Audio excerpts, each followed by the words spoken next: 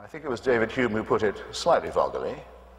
This was again about the virgin birth, I think. Which is more likely? That the whole natural order is suspended, or that a Jewish minx should tell a lie? If there is no supervis- supervisory being, then what do we base morality on? Is it based on who has the might at any given time? Who's in power? What is morality based on? If there is no order to the universe, and therefore some being, some, some force that ordered it, then who determines what is right and wrong, what is moral and immoral? You use very religious terms interchangeably while you attack the idea of a God.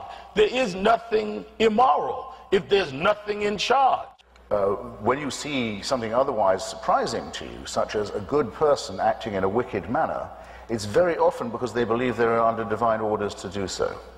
Uh, Steven Weinberg puts it very well. He says, left to themselves, evil people will do evil things and good people will try and do good things. If you want a good person to do a wicked thing, that takes religion. I do not think that any person looking at a newborn baby would think, how wonderful, what a gift, but now just let's start sawing away at its genitalia with a sharp stone. Who would give them that idea if not the godly? And what kind of argument from design is this? Babies are not born beautiful, they're born ugly. They need to be sawn a bit because the handiwork of God is such garbage. Well, honestly, It's rubbish. Only religious people reading scriptures of some sort have done wicked things in the history of the world. actually secular criminality on the political level wasn't really possible until pretty much the late 18th century because the, the religious monopoly on violence and cruelty and torture and slavery and so on was so intense. The long cultural process is to try and move people up to a cultural and intellectual level where they are above that kind of appeal, where they're not credulous, where they don't take things on faith, where they don't make gods or idols or images out of anybody, including fellow human beings, and they learn the pleasures of thinking for themselves. How about that for a modest proposal? You, if you see something apparently um, involving suspension of the laws of nature, shall we say, the sun standing still so Joshua can win his battle, all right? Or the raising of Jairus' daughter, or uh, even my favorite miracle, the turning of the um, water into wine at Cana. Um, a, tribute, a tribute to the Hellenistic influence that still persisted in Palestine at that time. Um, you still have to ask yourself the question which is more probable that the laws of physics or nature have been suspended, by the way, in my favor, uh, or that I'm under a misapprehension? Everyone has to ask themselves that question. That's if they saw it themselves. If they take it as a report uh, issued through and filtered through dozens of other non eyewitnesses and corrupt texts down the years, then I would think anyone who says they think of the resurrection as a historic fact is advertising a willingness to believe in absolutely anything. Let's have another question. I knew we would have most of uh, the rabbi's time taken up with good works done by religious people. An absolutely irrelevant point. I mean, if I'm arguing with a Mormon and saying to them, the idea that Joseph Smith, not far from here, found gold plates dictated by God and was, and was led to them by a salamander, and therefore was allowed plural marriage, incest, and land theft. Are you kidding me? This is a sick cult a crazy, obvious fraud that you can look up in the archives of the local newspapers of New York State. You can see the trick being pulled. The Mormon will say, I know what's coming right away. You should see our missionaries in action in Colombia. We send out young people to do good works in the Andes, in the Himalayas, in Sudan. No doubt they do. And is their motive just to help? Or is it maybe to make more Mormons and to spread the book? Have you tried it, by the way? Has anyone ever tried Book of Mormon? You know what Mark Twain said about it? Chloroform in print. Is it not the case? I invite the rabbi to comment. Why does Hamas justify its theological and theocratic tyranny in Gaza? Because it's the only provider of welfare and social services, which it is, which it is. Uh, all over Africa, there are millions of Catholics working every day to make more Catholics. And they say, as their Pope tells them to say, yes, AIDS is very bad, but it's not as bad as condoms are. as a result of which they're responsible for the deaths of millions of Africans, because their work is that of proselytization. Don't call it charity. It's, they're doing it for Jesus. It's not for its own sake, and for it to be moral, to be really human, charitable, to have the, the, the things about it that appeal to us, which I'll come to in a moment, it shouldn't be proselytization, should it? We all know, well, those of us who studied poverty and visited the third world, there is only one cure for poverty. And religion is always on such good terms with poverty, don't you notice? Poverty, illness, disease, ignorance, religion always thrives there. They have a sort of partnership with it. It's always their fallback position. For a good reason. The two things feed on each other. There's only one thing that cures poverty, whether it's Bangladesh or Bolivia. It's the empowerment of women. It's the only known cure. If you give women control over their reproductive cycle, take them off the animal cycle that forces them to bear children, and doesn't allow them any say in the size of their family, because they have to breed children to replace the ones who are going to die of the filth and the poverty and the disease that the priests have brought in their train, if you take them off that cycle, go back to that village in five years, the floor of material well-being and education will already have improved. Throw in a handful of seeds and a bit of credit, the job is done. Name me one religion that argues for the empowerment of women. Now, when you say, Rabbi, really, you, one should be shocked when a priest commits an act of filthy uh, criminality. I say I'm not shocked at all. Why am I not shocked? Well, if you design, I'll just take a leading example, a salient one, a Roman Catholic Church which preaches that women are vessels of temptation, which insists on celibacy, that makes sex a matter of guilt and shame, uh, that is composed of an all-male priesthood, uh, the, the whole practice of which is based on a sexual repression, what do you think is going to happen to the children in the care of those people? Don't act surprised. They don't act surprised. They knew it was going on all the time. And they covered up for it. Where is Cardinal Law, may I ask you? Former Prince of the Church in these United States. Why is he in Boston Laity? You want to know this? Why is he not in the top? Because he's in the Vatican. Because he's fled the jurisdiction and been given a sinecure at the Church of Santa Maria Maggiore in Rome and voted in the conclave to, to produce the next pope, the, the, the, holder of the keys of Peter, the vicar of Christ on earth. This man who ran a racket of child abuse, why do we call it abuse? Of the rape and torture of children for generations, decades, and across a wide swathe of the country. And it's not because, it's not in spite of his religion, it's because of it you, what, here's, do yourself, okay. your, do yourself and your faith the honor of saying it's faith. Don't no, no, no, say no, science-based. The argument you would won't be, get away with it. Look, the argument would be, Christopher, is that if the universe exploded into being out of nothing, then miracles are possible because the greatest miracle of all has already occurred. The question is, have miracles occurred in the first century? No, that requires another debate whereby we have to look at the historical evidence and see. And if it is true that the, uh, that Jesus really did come and say and do the things that the New Testament writer said he did, then whatever he teaches is true because if he rose from the dead, he was God. If he taught that there will be an intervention, then there will be. That's the argument. I don't have time to support it.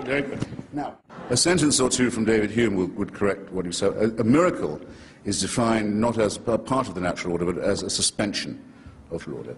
That it's a suspension of what it starts. You may not do that. However, if you meet someone in the street who you yesterday saw executed, you can say either that an extraordinary miracle has occurred or that you are under a very grave misapprehension. And David Hume's logic on this, I think, is quite irrefutable. He says, What is more likely? That the laws of nature have been suspended in your favor and in a way that you approve, or that you've made a mistake. And in each case, you must, and especially if you didn't see it yourself and you're hearing it from someone who says that they did. I would go further and say the following I'll grant you that it would be possible to track the pregnancy of the woman Mary, who's mentioned about three times in the Bible, uh, and to show that there was no male intervention in her life at all. But yet she delivered herself of a healthy baby boy. I can say, I, I don't say that's impossible. Parthenogenesis is not completely unthinkable, but it does not prove that his paternity is divine. And it wouldn't prove that any of his moral teachings were thereby correct. Nor, if I was to see him executed one day and see him walking the streets the next, would that show that his father was God, or his mother was a virgin, or that his teachings were true, especially given the commonplace nature of resurrection at that time and place. After all, Lazarus was raised, never said a word about it. The daughter of Jairus was raised, didn't say a thing about what she'd been through. Um, and the Gospels tell us that at the time of the crucifixion, all the graves in Jerusalem opened, and their occupants wandered around the streets to greet. Uh, so that seems the resurrection was a, a, something of a banality at the time. Not all, not all of those people clearly were divinely uh, conceived. So I'll, I'll, give you all the miracles, and you'll still be left exactly where you are now, holding an empty sack. Coming up on the inside track, as it might be said, in Afghanistan, and barely noticed by us, uh, was a fusion of the idea of the one-man rule and the one-party rule with the one-God rule that makes this, this uh, dictatorship even more iron and inflexible and menacing because, like the others, it leads to failure state failure, and like the other state failures, it will not blame itself for its failure, but will export this violence and blame conspiracies of others for its own collapse. And for me, the special symbol of that also took place in 1989 when the theocratic head of a foreign state who just lost a war with Saddam Hussein, the Ayatollah Khomeini, offered money in his own name for the purpose of the suborning of murder of a writer of fiction living in London who is not an Iranian citizen, a friend of mine by, by chance named Salman Rushdie. Very radical challenge, I thought, to every possible value that's represented by the Western uh, Enlightenment into a free expression. Every now and then, if you're like me and you go on the and you debate with some whining, self-righteous, self-hating, self-pitying Muslim, and you tell him what you think of his Quran and his Prophet, and so he says, you have offended a billion Muslims. You notice this? You notice that there's a slight tone of moral blackmail here, I sometimes think. Look, if it was a matter of defending the right of somebody to hold their religious opinion, I would defend the right of a Muslim if there were only three of them. The idea of a billion is clearly intended as a threat. A, there's a menace to that. You've upset a billion of us. You should watch out. That's what it means. And we're going to try and move in to your city and your country too, and we're going to raise more and more demands. That's what's meant by it. But what about a billion Hindus? What about a billion Hindus who've been declared anathema, who have been declared fit for slaughter at any time, at any place? They're not even monotheist. Look what happened, for example, to the Nepalese guest workers in Iraq. Did anybody see that unbearable video of the mass slaughter and throat cutting of these Hindus? You have to see it to believe it, and the commentary that goes with it, too. And in my opinion, half of Palestine won't quite satisfy them.